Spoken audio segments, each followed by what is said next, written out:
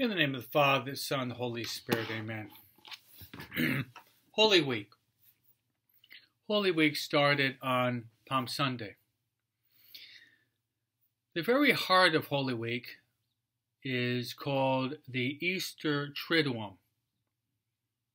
Triduum means three, and is composed of three days Holy Thursday, Good Friday, Holy Saturday.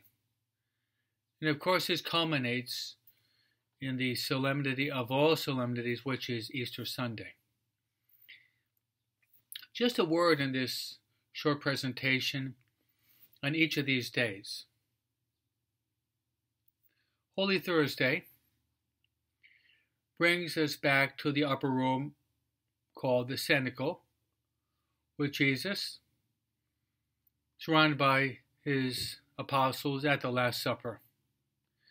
There at the Last Supper, Jesus celebrated the first Mass, and he instituted for us the greatest of all sacraments, which is the sacrament of the Most Holy Eucharist.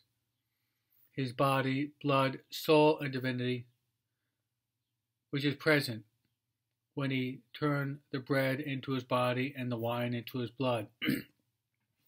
Myself as a priest, the greatest action I can do any day is to celebrate the holy sacrifice of the Mass, which I take that bread and wine, and through the words that Jesus said, there is the consecration.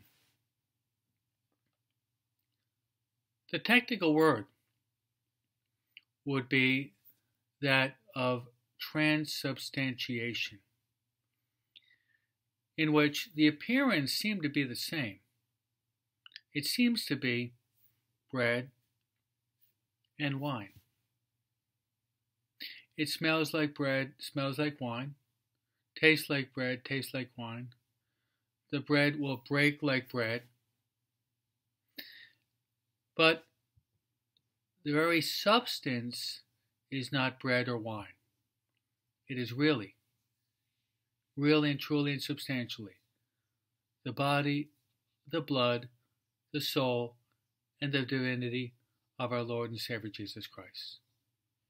So, this would be the first day of the Triduum that we're explaining today. Hopefully, you'll be able to go to Mass that day in the evening, in which you'll witness the washing of the feet, which the priest will wash the 12 feet of individuals going back, symbolizing going back to the Last Supper when Jesus washed the feet of the apostles, symbolic of humility, service, and the call to purification. So I pray that this Holy Week will be the most holy weeks of your life.